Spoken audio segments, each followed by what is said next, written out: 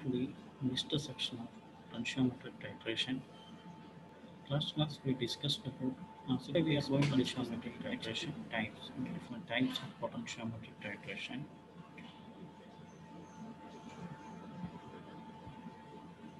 Potentiometry is an analysis technique in which we can easily find out the unknown solution. Different types uh, that is discussed in our previous section, acid base, protons, precipitation, and complexometric titration. Today we are going to discuss the redox titration.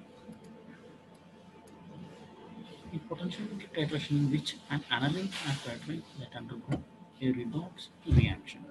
For example, in this type of titration, we titrate treatment of iron solution with a cerium ion, and this cerium 4 plus ion react with ferrous ion, it is converted to cerium 3 plus and Fe3 plus. That is, cerium undergo reduction reaction, Fe undergo Fe2 plus changes to Fe3 plus reaction, and this type of titration is known as redox titration.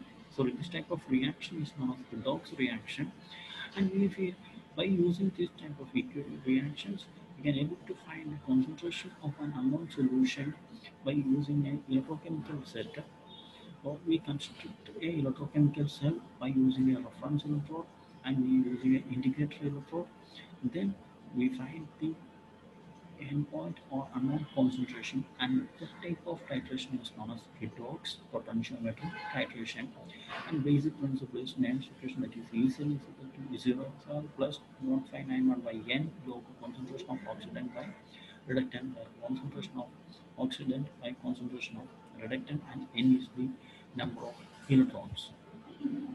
Typical example, if you titrate a ferrous ammonium sulfate against potassium dichromate K2Cr2 that is K2Cr2 take is the taken with burette uh, and we adding a little uh, a particular interval of K2 Cr2 and we construct a electrochemical cell by constructing one reference electrode that is saturated calomel electrode is taken as the reference electrode and iron solution that is ferrous ammonium solution in platinum is placed as the one of the indicator electrode.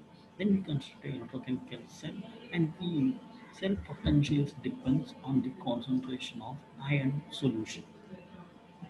Cell potentials depends on the concentration of the iron solution.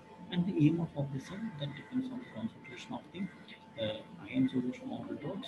That is ESL is equal to right minus electrode. That is redox electrode minus E calomel electrode. And the concentration or EMF is depends on the concentration of the uh, redox electrode concentration of the iron solution. Then we are K2 Cr2 from the burette. The concentration of the iron solution changes. And when the concentration of iron solution changes, the EMF of the cell changes. Based on that we find and the solution titration of platinum is made in total solution. It is coupled with the calomel electrode and is added solely in the solution. Electrode potential is different and is measured in the each addition. And the end point potential is changes, but there is no significant change. Then we plot a graph, and based on the graph, we can able to find the volume of the titrate, that is volume of the di- dichromate required to neutralize given acid. From that value, we can able to find the unknown concentration. Next is complexometric titration. In complexometric titration, we aim to find the concentration of a metal present in a mixture of or mixture of metal ions or find the concentration of different metal ions present given in a solution for that one we are titrating a solution against a chelating ligand for example EDTA ethylene diamine tetraacetic acid is a chelating ligand we are titrating metal against a so given solution against EDTA it form a stable metal EDTA complex and the electrode potential we a electrochemical cell by using the electrode potential. One of the indicator electrode and potential depends on the concentration of the metal ion. Then we are adding the EDTA, the concentration from a metal EDTA complex. Then its um, concentration changes. Based on that one, the electrode electro EMF of the cell changes, and based on that, uh, we can able to find the concentration of the ion uh, by uh, plotting a graph EMF against the volume of titrant and that is known as complexometric potentiometric titration. In complexometry, we are using mixture of divalent or trivalent is titrated against EDTA. Next is precipitation titration. Here is a formation of insoluble metal salt such as silver, mercury and copper takes place in precipitation titrations and it is very difficult to find a suitable indicator for the precipitation reactions. So we can it is very much advantage if you are using a potentiometry. And the indicator that depends on the concentration of the ion we are adding the titrant. There is a formation of insoluble uh, precipitate. And in that way the emf of the cell changes. So we construct a electrochemical cell. So its concentration or emf changes.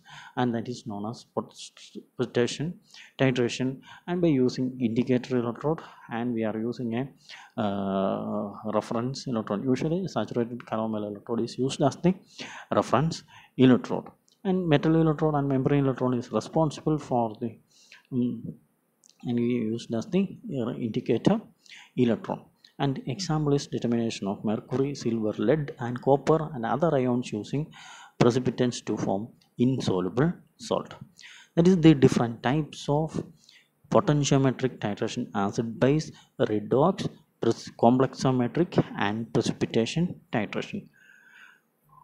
Hope you understood. That is all about potentiometric titration. Thank you